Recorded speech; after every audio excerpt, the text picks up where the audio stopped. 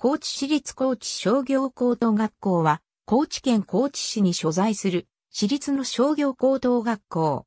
高知県で唯一の私立の高校である。愛称は、師匠であり、先に述べた、県内唯一の私立高校であることに由来する。高知県内では広く浸透している。これに対して、県省という愛称は、高知県立医の商業高等学校のことを指す。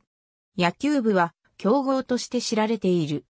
また、生徒会執行部ではラオス学校建設活動というボランティア活動を行っている。歴史1898年に高知市帯屋町に設立した簡易商業学校を前身とする。2018年に創立120周年を迎えた。設置家庭全日制家庭商業に関する学科定時制家庭商業に関する学科商業加工、税、法本藩士効果、法定万里作詞は竹村正虎、作曲は平井宗太郎による。日本でも有数の短い効果である。歌詞は4番まである。1学期2学期3学期野球部と水泳部に全国大会優勝経験がある。選抜、出場14回選手権、出場23回明治神宮大会、出場1回国民体育大会、出場11回選手権、出場3回その他ラオスに学校建築をする国際協力活動を実施。2004年、社会貢献者表彰を受賞。2019年、令和元年度外務大臣表彰を受賞。受賞理由に、日本トラオスとの相互理解の促進に貢献したことが挙げられている。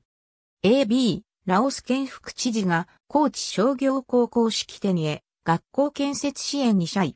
高知新聞。2021年1月16日閲覧。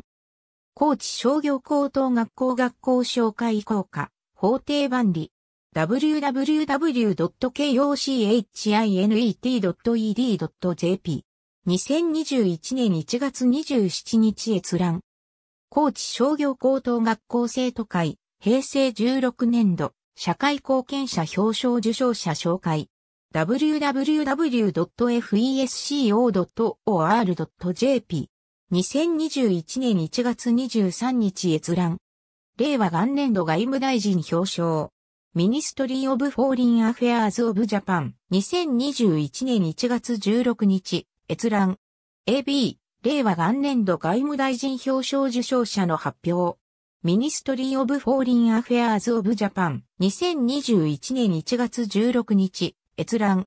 高知商業ラオス支援に大臣表彰学校建設25年、相互理解を評価。